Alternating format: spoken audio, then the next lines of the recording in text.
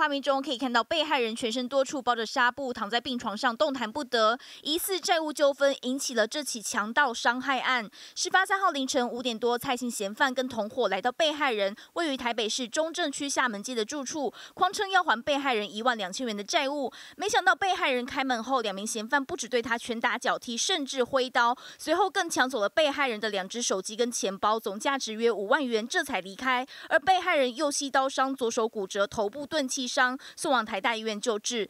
警方追查发现，嫌犯作案后搭乘计程车往新北市的方向逃逸，将全力查缉，并将对两人提出伤害强盗告诉。至于详细案发原因，还要再调查厘清。